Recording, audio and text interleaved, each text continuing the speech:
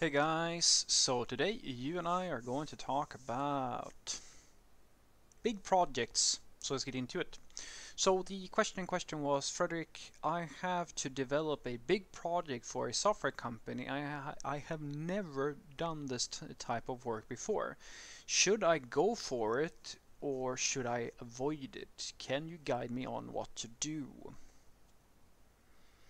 No, I can't because I don't know you, where your skills are, and I don't know what you mean by a big project. What I can give you is what I usually do when I'm faced with basic. This is basically what we do uh, whenever a new project comes in. This is something that on well, it's not really time estimation, but it is. Uh, it's sort of time estimation. It is uh, it's a process. I don't really really know what to call it, but let's just call it grooming or preparing work or assisting your stakeholders in creating a roadmap. Let's call it that.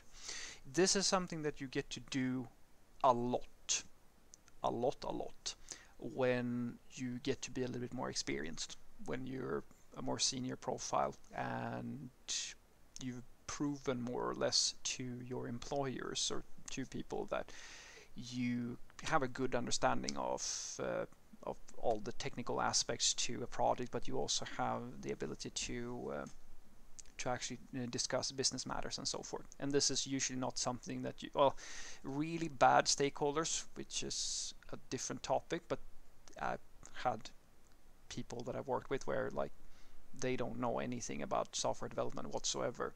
And they talk to a junior developer about like a six month roadmap when the and ask try to try if they want to figure out how are we going to do this thing? With somebody who's like literally just learned how to implement a FizzBuzz algorithm.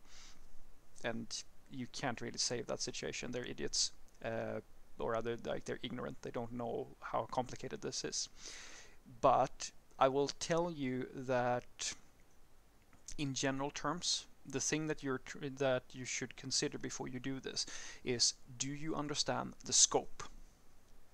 Is that if if that makes sense? So the biggest tell to that this is a bad situation for you is that you say this is a big project. I'm not saying that that is necessarily the worst thing in the world because there are many large projects, but any structured, well-working process of delivery is going to include some type of roadmap. Because if someone comes to you and says hey build me Facebook that is a big warning flag for you. It's like the most unspecified most dumbest thing that you can possibly imagine because you don't actually know what are the specifics. Like that's just a generalized statement where this is a vision type of thing. If there are no details, and without details, and that's the thing that we software developers really care about, details. Because details is the difference between this takes a day, this and this takes two weeks. That is the difference in details, and that is the thing that I would do a little bit of soul, of soul searching when you're facing the situation, ask yourself, do I feel like I know how to figure out what I'm actually getting myself into? Because it, it doesn't really matter so much if you've never done something before. It's a gut feeling for you, basically. If there are elements that you're unsure how on how to deal with, that is these are things that you can address, and you can kind of laser focus on those things and figure out, okay, these are things that we don't really know how to do, but we can do this and this and that. You like you're you're still able to work with the problem. But if you feel so completely overwhelmed that you don't really know what this thing that you're building is, if you don't feel like you understand what you're gonna build, then walk away from the situation. Definitely, every single day of the week, walk away. Because you are e uh, either it's because you are not experienced enough to handle the situation, or it is because the stakeholders that you're dealing with they don't even know themselves what it is that they're looking for. And this is something that I have I've had this situation with many clients where uh, they say that they mean one thing but my experience tells me that no that's not actually what they're saying. They're saying this thing here and I know how it's going to turn out. Uh, I had a lovely story the uh, well lovely is a strong word but I had a story from a few months back. A coworker of mine wanted me to chime in on a project that he had as a side business with a few people. And they had all these big ideas and like they wanted to build an app and they wanted to build a web presence and so forth and so forth. And he came in with like this massive specification and I said, don't do it. And he said, "What do you mean? Shouldn't I take the project? Yes, you should take the the project, but you should make it. You should build a proof of concept and that should be the cheapest thing that you can possibly make because if my eh, because based on what you're telling me about your stakeholder uh, if that is true these are completely inexperienced people. They don't even know what they want. Uh, they have no budget or like any like ambition to actually see this thing through. And my guess is that uh, you will whatever you build will be the first and only thing that you build for them. And the the project is going to kind of fizzle out because they simply can't prioritize this thing. This is something they most likely just talked together about because they have a process that they don't they don't really like. But they're not willing to invest what is required to see this thing through. They're not going to drive anything. And i promise you within the like a few like a week or two after you ship the first thing you're going to see that they're going to be very excited at first but then like they're not actually going to come back with you to you with any feedback so we scoped it down. The original specification was like massive, and we made an MVP. Took, I think, the original scope. Had we built that from first day, from the absolute first, like the way that it was structured and delivered to us uh, in the way they wanted, the time investment on that thing would have been months because it were, we were talking about a fairly significant system. We did the proof of concept in eight hours or six let's let's call it a weekend say 16 hours something like that and had it up and running ready for consumption within that time period. And exactly as i said even several months like a, few months later the product has still had still not progressed from that state.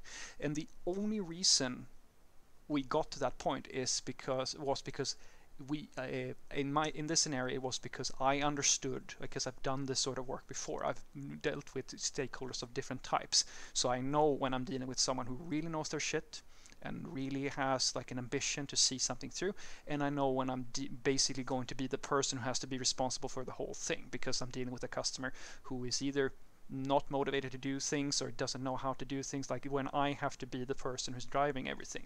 And this is something that you gain with experience when you work with a lot of different types of stakeholders and with several different types of projects. And the same thing is going going to be true for you now.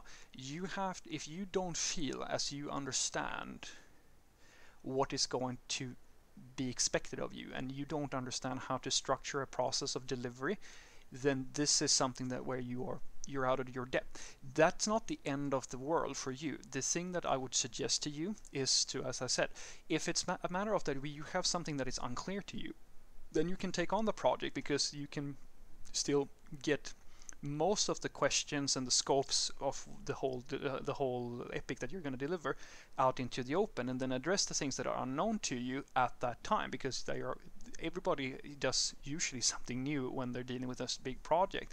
The same thing goes for me and my coworkers. I mean, don't, we don't know every detail of everything if we're dealing with a big project, but we know enough about uh, programming and systems development so that we know how to figure out which areas do we know how to solve and which areas are unknown to us and those unknowns are part of uh, like how we figure all of this out not you know we don't know everything. Nobody knows everything. So some things you kind of know and some things you figure out. But the important part is that you need to have an understanding of what are you going to make. Because if you don't have the experience to figure out what this big product that you're going to deliver, what are you actually building? If your stakeholder doesn't give you that information so that you feel that you understand what you're building, and you on the other hand, you don't have the experience either to get that information out from your stakeholder, then walk away. Because then you're two inexperienced parties who have no idea how to make this happen because two uh, you, you one of you has to have the vision one of you has to be the the voice of experience within this conversation because you can't both be in the in the dark that's most likely going to blow up in your face so what i want you to take away from this is that the one time I like I suggest that whenever you're taking on a big project, you should really ask yourself, do I feel like I know how to figure out what I'm actually supposed to deliver? What is the scope of this thing? Because if you can't get get a clear specification and a roadmap going, then you don't know what you're going to build. And without that these details, you don't know if you're up to the task or not because it's just this like as I've had this happen to me many times. Fredrik, can you please build me Facebook? What do you mean when you say build Facebook? It could be mean quite a lot of things. And if you can't figure that out from your stakeholder and your stakeholder isn't more experienced and can actually give you a good clear technical roadmap then you're two you're two inexperienced parties who are trying to build, build something and that's not going to work out. You can on the other hand take like the second seat to someone like if you have a more experienced developer that you can call upon who can hold these conversations and facilitate and actually make the whole project uh, roadmap with you. That person can be a lead and you can learn and shadow from shadow that person. That is the thing that is best for your career.